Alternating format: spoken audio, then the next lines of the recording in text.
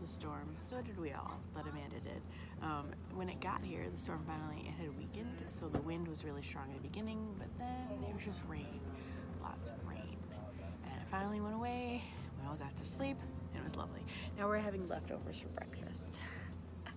we leave today. Derek and Quinn ended up taking off late last night before the storm hit. So he didn't get to say goodbye to us, and we didn't get to say goodbye to him. But I hope you had a fun half of a day camping, Derek.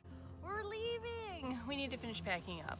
This is gonna be a long process. Adam took really sweet drone footage of us packing up, but he lost the card. So all I have is this picture of me not looking the correct way. So enjoy! When was the last time you had Long John Silver's? I haven't had it in years. Well, we found a place. Where are we? What city are we in? Do we even know? We're driving home. We're getting Long John Silver's. Yo!